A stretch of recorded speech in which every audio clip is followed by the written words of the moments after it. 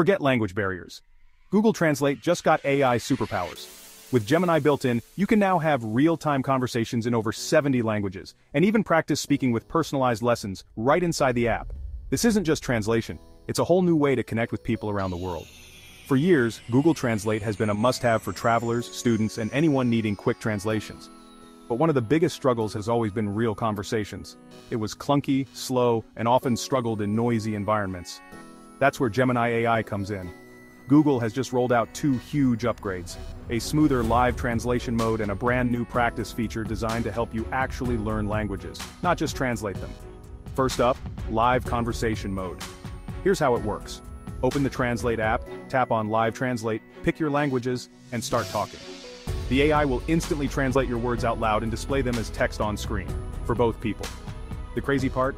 It automatically detects pauses, accents, and intonations so the flow feels natural. And yes, it's built to handle noisy environments like airports or cafes, thanks to advanced voice and speech recognition. Imagine walking through a street market in Barcelona and being able to negotiate prices in real time, or ordering food in Tokyo without the awkward pauses. This is way beyond the old phrasebook-style translation. But the real surprise here is the new practice feature. Google Translate is no longer just about survival phrases. It now creates personalized listening and speaking exercises based on your skill level and goals. Say you're a beginner trying to practice French. Translate can generate conversation scenarios where you listen, tap the words you hear, and then practice speaking with AI feedback. If you're advanced, it adapts and challenges you with harder vocabulary.